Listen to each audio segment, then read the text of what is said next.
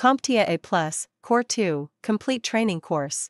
Exam Objective 1.2 Given a scenario, use the appropriate Microsoft command line tool.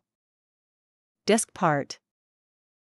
The disk part command is a command line utility used to manage disk partitions on a computer.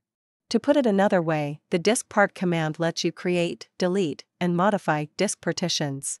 Think of it as a powerful tool that helps you organize and manage your computer storage. With DiskPart, you can resize partitions, assign drive letters, and format volumes, among other tasks.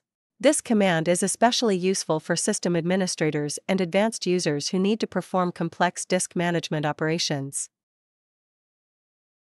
Now this may be a bit beyond the scope of the CompTIA Plus Core 2 exam, but I think it would be fun to dive into an example to see how DiskPart works. Suppose you want to create a new disk partition on a hard drive or volume. Here's how you can do it.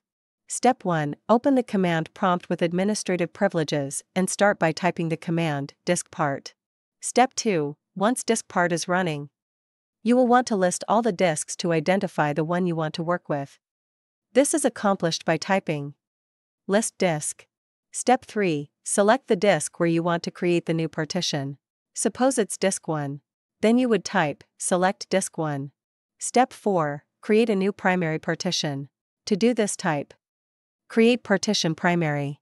Step 5 List the partitions to confirm your new partition has been created.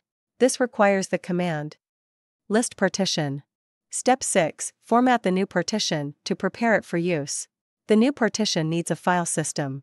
To format a file system, use the command format fs equals ntfs quick and the partition will be given an NTFS file system.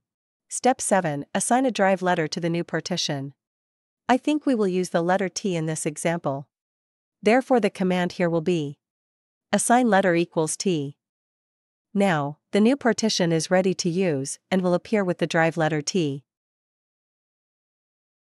The disk part command is invaluable for managing disk partitions. It provides detailed control for setting up new disks, resizing partitions, and preparing drives for various operating systems. In capable hands, it is also useful for troubleshooting storage issues, optimizing disk usage, and managing complex disk configurations.